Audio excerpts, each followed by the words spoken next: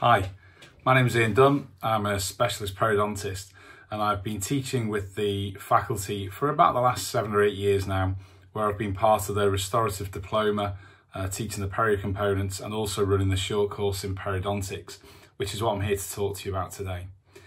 The short course in periodontics is a four-day program that's run over two two-day sessions, uh, specifically on Friday and Saturdays to minimise your time off work.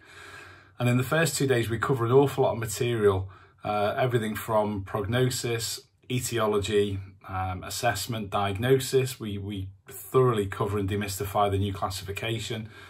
We look at treatment planning, uh, contemporary periodontal treatment strategies, uh, adjunctive therapies, furcation involvements, endo-perio lesions, and we finish the two days talking about implant maintenance and peri-implantitis management. The second two days are very hands-on and we look at all things surgical perio. So day one is periodontal uh, surgery for the disease patient. So we look at things like pocket reduction surgery and uh, simple guided tissue regeneration. On day two, we cover uh, periodontal surgery for the non-disease patient.